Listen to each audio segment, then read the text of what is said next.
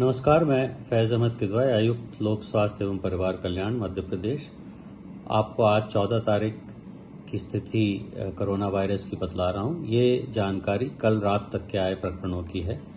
पिछले 24 घंटों में हमारे 1171 टेस्ट हुए हैं, जिनमें से 126 लोग नए पॉजिटिव निकल करके आए हैं। इसमें अंठानबे इंदौर में हैं 20 भोपाल, एक उज्जैन, दो बड़वानी एक जबलपुर, एक श्योपुर, एक मंदसौर, एक रतलाम और टीकमगढ़ ज़िले में पहला एक नया प्रकरण आया है।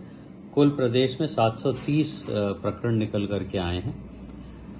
प्रदेश में 278 कंटेनमेंट एरियाज़ बनाए गए हैं। इन 24 जिलों में जिनमें केसेस आए हैं, हमारी आठ टेस्टिंग लैब्स काम कर रही हैं। प्रदेश में 644 आरआरटी टीम्स काम कर रही हैं। लगभग साढ़े ग्यारह सौ मोबाइल टीम्स काम कर रही हैं और हमारे कॉल सेंटर पर साढ़े पाँच लाख कॉल्स आ चुकी हैं, जिनका निराकरण किया जा चुका है।